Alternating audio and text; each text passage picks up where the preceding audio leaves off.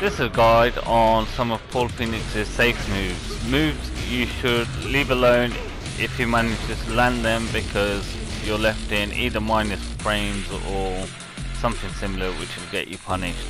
Let's have a look. Move number two is this rage drive.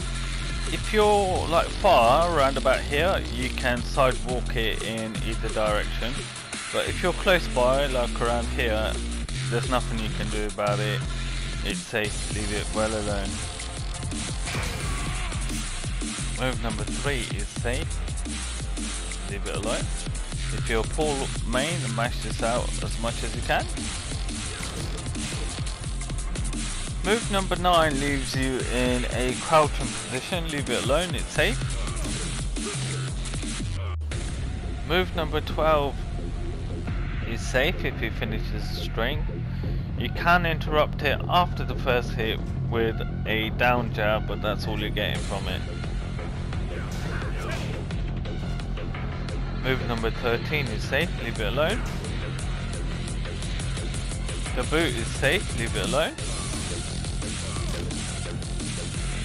Hammer punch is safe, leave it alone.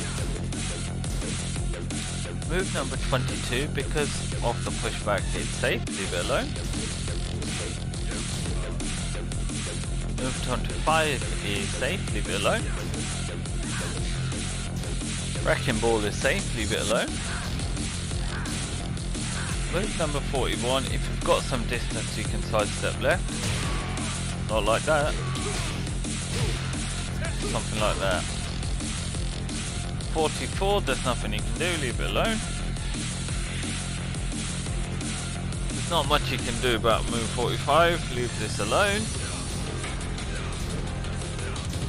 Move number 46, there's not much you can do about it, so leave it alone. And if you're Paul main, abuse it as much as you can. So if you're a Paul main, abuse these moves as much as you can. And if you're Kazuya main, avoid these moves and don't mash afterwards. Hope you enjoyed this video.